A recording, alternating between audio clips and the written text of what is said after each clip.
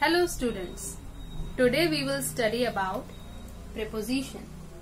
What is preposition? Prepositions are words used to tell the location of people, animal and things. Prepositions are used to show where someone or something is. Prepositions are words which tell us where the things are situ uh, situated. For example, in, on, under. Look at these pictures. Here one thing is common that is ball. But the location of ball is different. For example, in.